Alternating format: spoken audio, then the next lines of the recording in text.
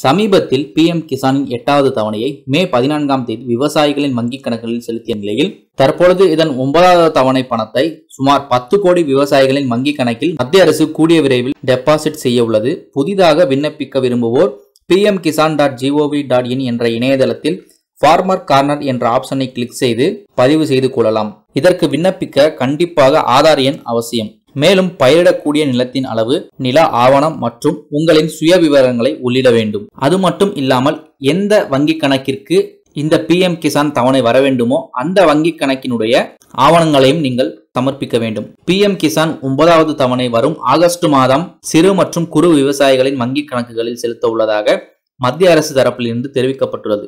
இது போன்ற செய்திகளை உடனுக்குடன் பெற நமது சேனலை சப்ஸ்கிரைப் செய்து கொண்டு அருகில் உள்ள பெல் பட்டனை கிளிக் செய்வோம். நன்றி.